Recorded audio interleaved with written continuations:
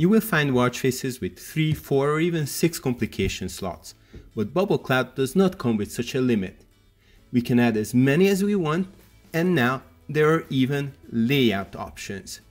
We have the classic Bubble Cloud style and now the standard Wear OS layout has also become available. The number of variations goes up to 6 when it comes to range type complications such as battery level and goal based data. For one, we have Bubble Cloud's classic way to show progress via colors. The battery bubble, for example, gradually changes from green to red as the battery drains out.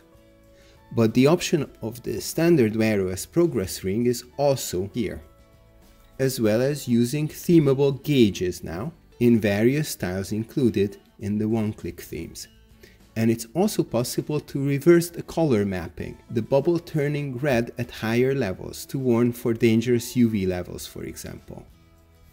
We can even combine colors and rings. Add watch face complications from the settings. Add complication, complication bubble, select the provider, after picking the actual complication, we are taken to the bubble edit screen, which we can otherwise get to by long pressing the bubbles. Here, we can choose the bubble's location. We can place complications on our watch face, marked by the star. We can also place them in the app drawer, it's called the archive cloud in Bubble Clouds. Or we can even create folders and place complications in them. With the plus minus, we can change the weight, which controls the position of the bubble in the given cloud. We can toggle whether the complication shows in always on ambient mode or not. And this is where we can select the progress indicator type. If we choose the ring mode or the new gauge type indicator, we will also have the option to set the bubble color.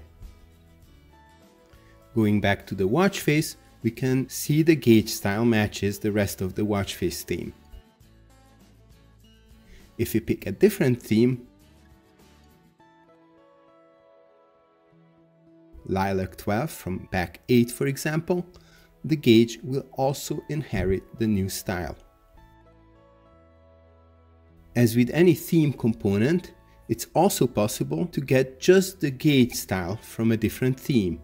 Let's use the scale and pointer from theme Ulrich, both in active and ambient modes. See the difference before and after? These components are also recolored if we change the color tinting of the theme. I highlight the gauge parts together with the other components of Afric 12 as I change the color hue, the gauge pointer is also tinted to blue. Finally, the same options are available in the phone app. You can select the gauge components in the one-click theme dialog and modify the bubble layout and color when we tap to edit a complication bubble in the Wear Cloud editor. I invite you to check out the new app website with hundreds of troubleshooting and feature highlight posts. Follow Bubble Cloud on Reddit, Twitter, Instagram, or Facebook so you don't miss icon packs and one-click themes which you can get for free usually for a limited time only. I plan to make more helpful videos. Make sure to like and subscribe to get notified. I would like to express my gratitude to all of you who reached out over email to report bugs or suggest new features such as the ones shown in this video. Your feedback makes the app better. If you like the app, you can balance out the negativity my app is constantly getting by leaving a 5-star rating in the Play Store. Thank you and enjoy the bubble clouds.